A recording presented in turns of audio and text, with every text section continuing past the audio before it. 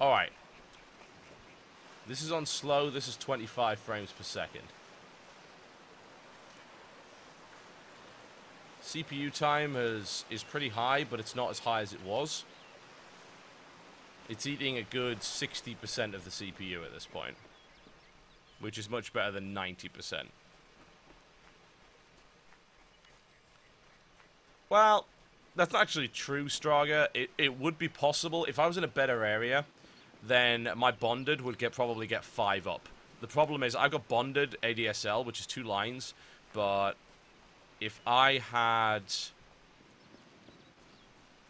Have I even gone back on yet? I have a feeling XSplit's being a bitch again.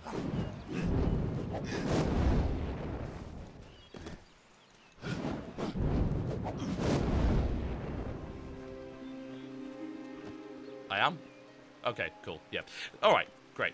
Well, yeah, I'm not seeing me, but What as long as you... are doing this Ah, far goddamn stupid bloody dwarves.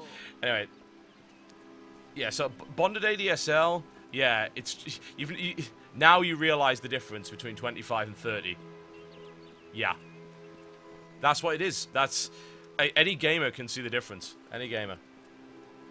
Yep, it's choppy. You'll notice. You notice the dropped frames, especially if you've just been of twat are watching doing 30 this far west?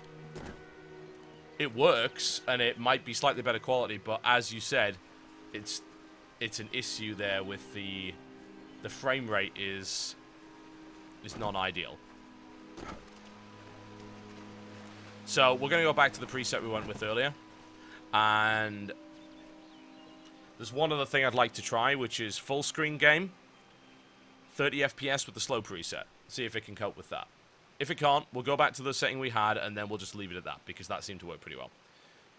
Okay. Be right back. It may also be an uh, in issue with the fact that Dxtory doesn't capture at 25 FPS, it only captures at 30. So, it's having to downscale. Which is kind of annoying, but let's just